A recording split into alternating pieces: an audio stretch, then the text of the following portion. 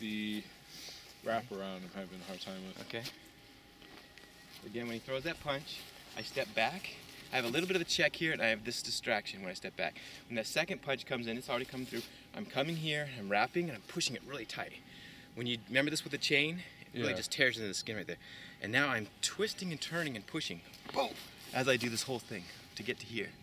From this part, I have this one and this one if I want to wrap. Normally, I would let go, right? I break the arm, let go, or pop down onto the body to scoot him away from me, and I have this. Or maybe you're going to to do this.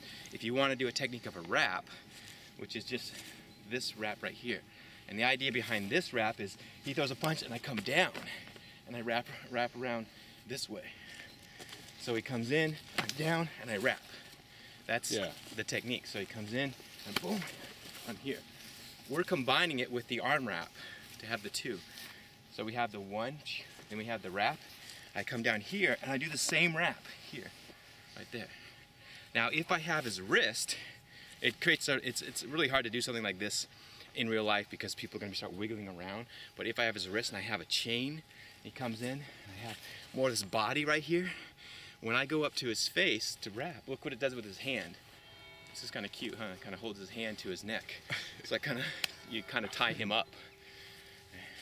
But something like that, that's going to happen from step A to step B to step C to step C. Step A to step B to step C, step C, yeah, to step D to step C.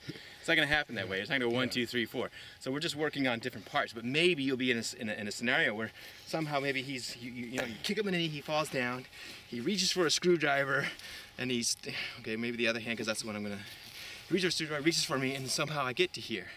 And maybe, boom, I break that arm, and then I hold this here, and then maybe I can stab him, stab him with himself, or he's to take the screwdriver out with his other hand.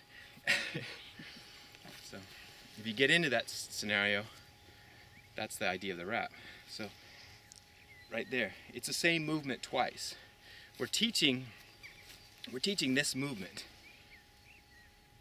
Right there.